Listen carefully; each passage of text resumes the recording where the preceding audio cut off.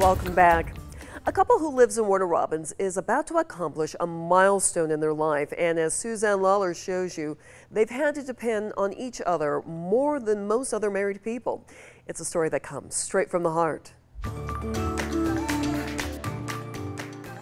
Mary Pat and Ernie Hodge are about to celebrate their 50th wedding anniversary next month. Well, that by itself is pretty incredible.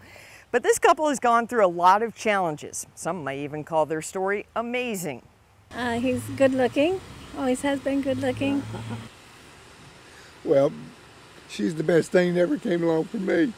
This couple is in love today as much as when they said, I do, back in 1970. Life hasn't been easy because you see, they're both quadriplegics. Uh, I broke my neck in a construction accident. I had polio when I was seven years old. For two partners living in a wheelchair, most days come with obstacles. Terribly, terribly hard. Hard, yet they have had their victories. Amazingly, we've been able to be independent. That's saying something. They were never content just staying independent. They've lived a more adventuresome life than a lot of folks. We've been to Europe, we went to Germany, and we've been to Hawaii. We've lived all different places all over the country. Ernie's job as a mechanical engineer caused the family to have different addresses. Mary Pat worked as a teacher.